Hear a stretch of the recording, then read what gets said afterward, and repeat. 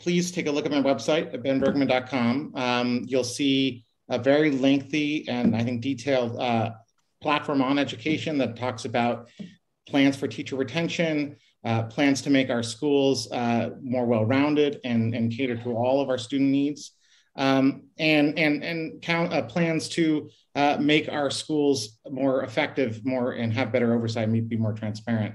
Uh, the other thing that you'll see is questionnaires. Uh, I responded to two questionnaires and when I early in this race to the WTU questionnaire and to the DFER questionnaire. And if you read the questionnaires, you'll see that I told both groups things they didn't want to hear. Um, but I, I, gave an honest accounting uh, of where I stand and uh, and wh- what my priorities are and how I hope to work with both groups uh, to advance a school system that works for your kids, for my kids, and for every kid uh, in DC. Thank you so much.